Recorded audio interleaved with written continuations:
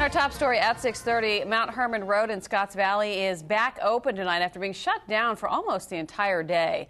An accident that nearly sent a truck over a bridge made a big mess this morning.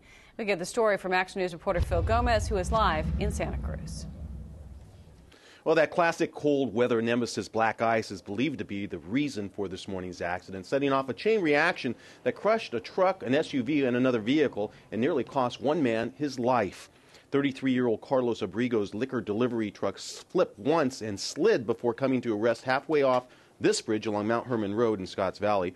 Abrigo says once he was hit, it appeared like everything was going in slow motion.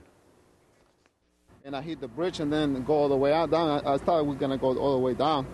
And when I see the truck stop and I see all black down there, and I try to see how, what I'm gonna do, you know. And I say, oh my God, I'm gonna die, you know. I got my family, you know, and I say, God help me and they helped me. So the truck stopped, you know, definitely. Morning. Where's it closed off? Uh, Traffic was diverted around the accident onto Graham Hill Road. Cleanup crews tried to salvage as much of the alcohol as they could. The truck was also filled with 80 gallons of diesel fuel, 75 gallons of that spilled down into Zayante Creek. Aaron? All right, Phil, thank you.